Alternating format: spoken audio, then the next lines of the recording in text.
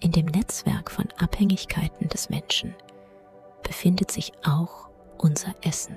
Mit dem Essen, was wir zu uns nehmen, verhält es sich ähnlich wie mit den Süchten. Im Vergleich zum Essen könnte man sagen, dass das Aufhören mit dem Rauchen oder Trinken sehr einfach ist. Versuche mal aufzuhören, das zu essen, an das du gewöhnt bist. Das kann viel schwieriger erscheinen. Was ist der Kredit beim Essen, den wir zahlen? Nimm einen einfachen Hamburger.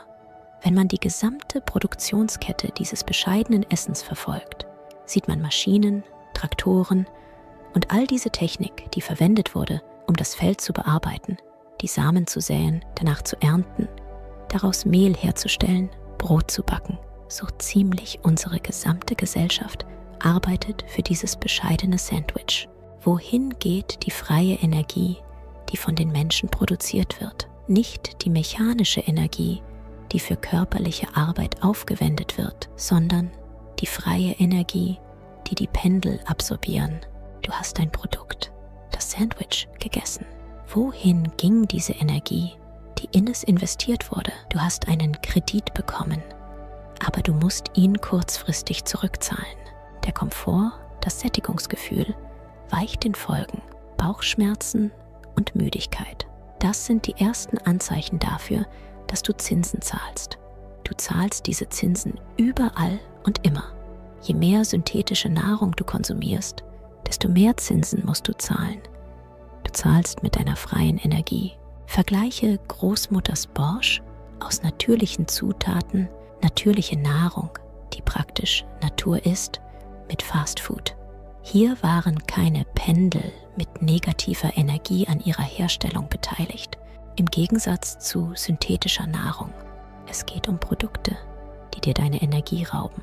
Erinnere dich an das Märchen von Sinbad, dem Seefahrer, als die Reisenden an ein Ufer kamen, wo sie sehr freundlich empfangen wurden. Sie wurden mit leckerem Essen bewirtet und so einige Wochen gefüttert, bis unsere Gäste im wahrsten Sinne des Wortes halb zu Tieren wurden. Sinbad sah, was passierte. Sie wurden mit Nahrung gemästet, die das Bewusstsein trübt. Heutzutage ist das keine Geschichte. mehr. Vor 30 Jahren waren Amerika und Europa Länder, die auf Bio-Lebensmittel und natürliche Produkte fixiert waren.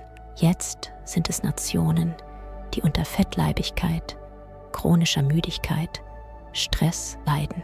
Es passiert etwas Schreckliches, das sehr subtil und unverständlich ist.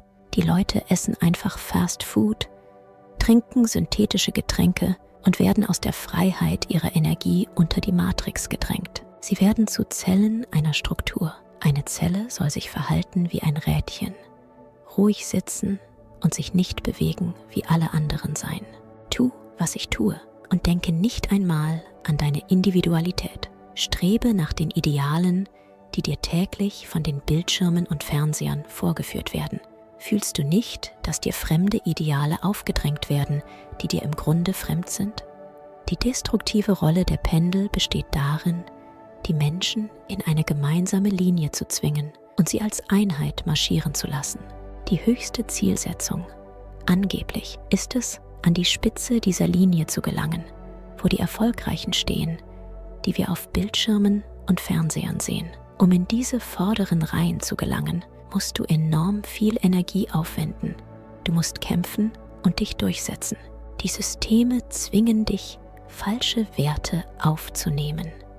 Die wahren Werte, das wahre Schicksal des Menschen, ist es, aus dieser Linie auszutreten und seinen eigenen Weg zu gehen. Wie schaffst du das, wenn du gegen die Pendel ankämpfst? Du kannst nicht gegen sie gewinnen. Du kannst sie nicht besiegen, indem du um deine Freiheit kämpfst. Du musst dich von diesem Kampf, von dem Streben nach einem Platz unter der Sonne und von einem Kampf gegen die Pendel lossagen. Wenn du absichtlich aus der Linie trittst und deinen eigenen Weg gehst, schaffst du es, unsichtbar zu werden. Sie sehen dich, solange du Energie abgibst und kämpfst, um deinen Platz zu behaupten. Aber wenn du ruhig aus der Linie austrittst und deinen eigenen Weg gehst, werden sie dich nicht sehen können. Alles Bewusste im Geist des Menschen geht zum Verstand. und alles Unterbewusste zur Seele.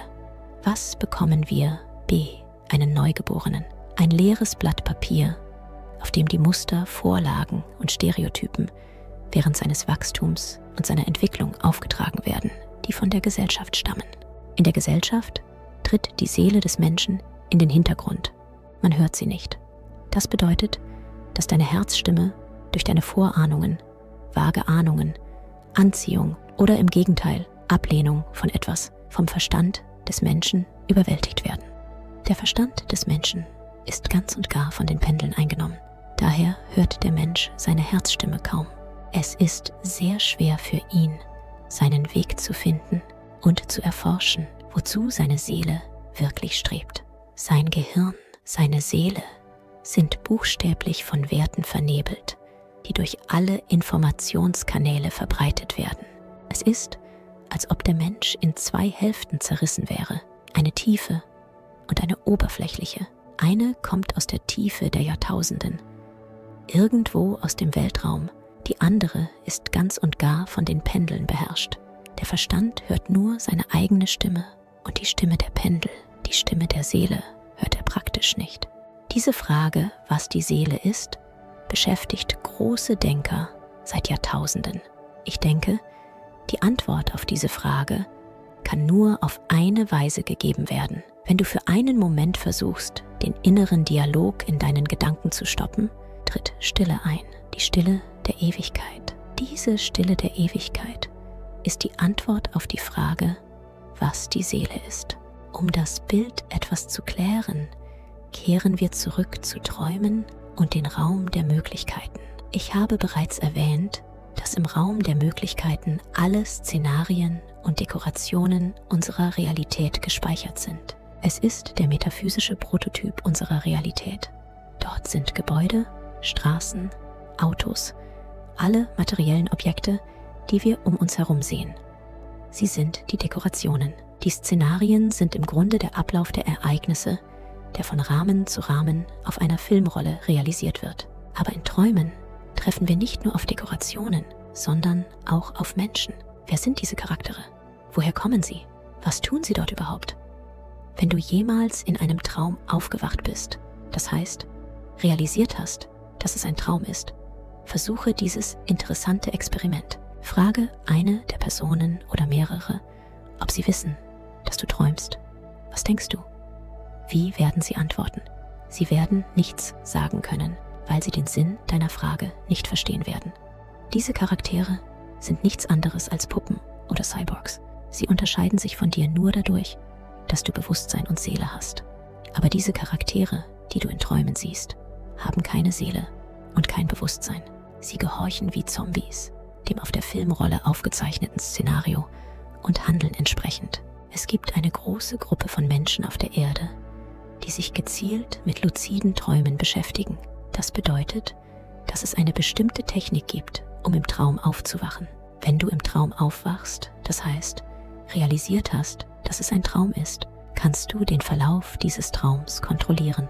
Du kannst zum Beispiel fliegen, wohin du willst. Wenn dich jemand angreift, kannst du ihn durch den Willensimpuls in ein Frosch verwandeln.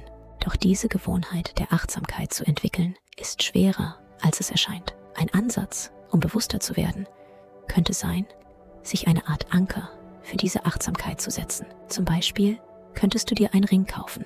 Jedes Mal, wenn du diesen Ring spürst oder ihn bemerkst, könntest du es als Erinnerung nutzen, um dich zu fragen, bin ich wach oder träume ich? Und bewusst zu werden, was um dich herum passiert. Die Menschen um dich herum könnten größtenteils im Traum gefangen sein, während du dich in der Rolle des beobachtenden Spielers befindest. Das gibt dir einen Vorteil, da du die Essenz der Dinge erkennst und beginnst, die Motivationen der Menschen zu verstehen. Du könntest die gesamte Situation besser verstehen und gleichzeitig eine solche Gewohnheit der Achtsamkeit entwickeln. Das ist jedoch eine anspruchsvolle Fähigkeit, die Zeit und Übung erfordert. Wie wäre es, wenn du dir als nächsten Schritt eine konkrete Situation vorstellst, in der du diese Achtsamkeit anwenden könntest? Durch positive Gewohnheiten, wie die Gewohnheit, auf die Gefühle deiner Seele und deines Herzens zu achten, gewinnst du einen weiteren Vorteil. Die Seele denkt im Allgemeinen nicht nach. Sie weiß nur entweder. Sie sagt ja oder nein. Entweder ihr gefällt etwas oder nicht. Sie kann etwas akzeptierten oder auch nicht. Höre auf deine Seelengefühle, wenn du eine Entscheidung treffen musst oder vor einer Wahl stehst. Wenn dein Verstand eine Entscheidung in deinen Gedanken akzeptiert hat, beobachte deine Gefühle. Was sagt dein Herz? Wenn es sich bedrückt anfühlt, bedeutet das Nein. Wenn es ruhig oder glücklich ist, bedeutet das Ja. Basierend darauf, was dein Herz, deine Seele sagt, kannst du deine Entscheidung ändern. Die Seele irrt sich in ihren Gefühlen im Allgemeinen nicht.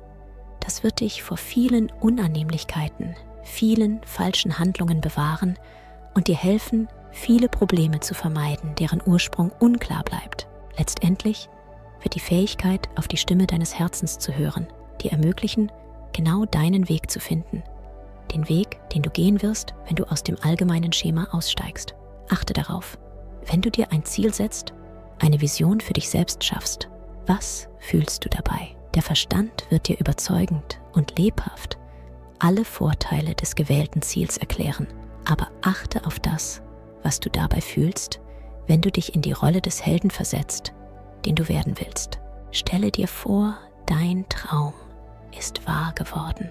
Wie fühlst du dich dabei?